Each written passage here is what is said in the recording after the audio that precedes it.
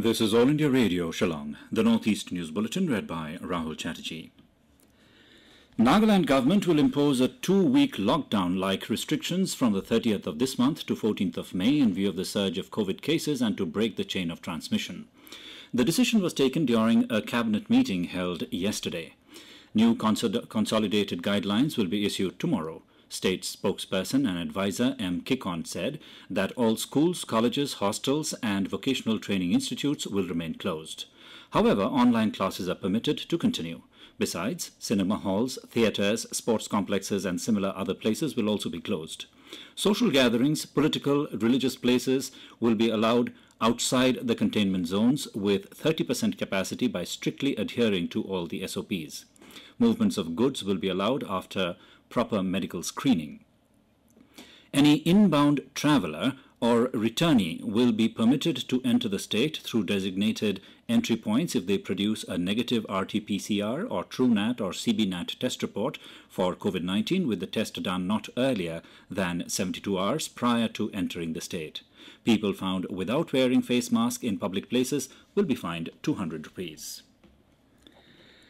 A major earthquake jolted various states in the northeast today morning at 7:51 a.m. According to the National Center for Seismology, the earthquake measured around 6.7 on the Richter scale and had its epicenter 38 km of Tezpur in Assam.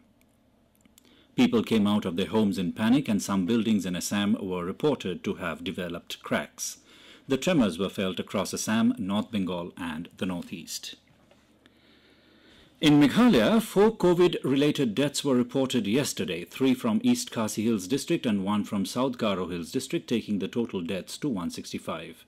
The state also confirmed 147 new COVID-19 positive cases, including 90 cases from East Khasi Hills, taking the total active cases to 1,456. The state also recorded 90 recoveries, tallying the total recovered cases to 14,650. Till date, the total confirmed cases is 16,271.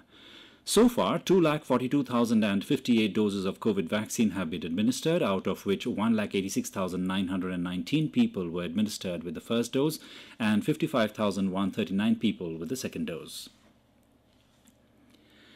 Nagaland reported 207 new COVID-19 positive cases yesterday, the single highest day spike reported this year in the state.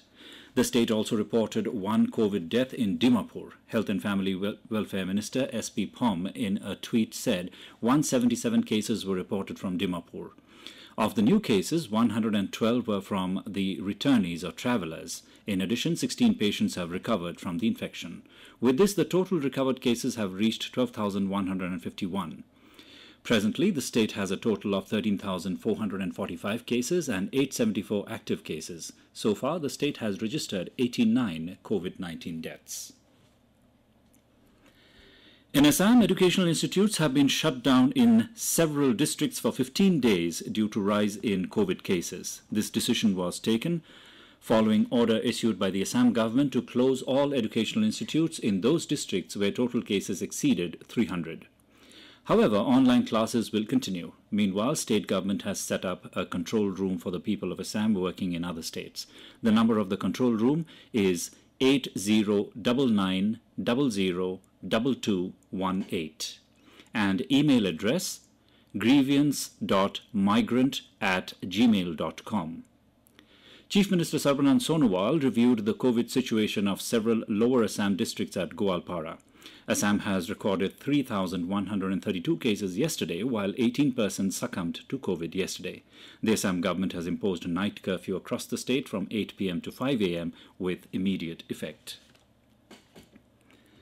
Manipur Chief Minister N. Biren Singh yesterday held a video conference with deputy commissioners of different districts on the COVID-19 situation. The meeting came amid recent spike in coronavirus cases in the state. During the conference, the Chief Minister directed the Deputy Commissioners to expedite information of COVID awareness, come enforcement committees of different assembly constituencies, and to reactivate COVID care centers at the earliest. He also stressed on the need to cross-check COVID negative reports for those entering the state and to intensify vaccination and penalize the violators of the SOPs stringently. And with that, we end the Northeast News Bulletin, which came to you from All India Radio. Shillong. Have a nice day.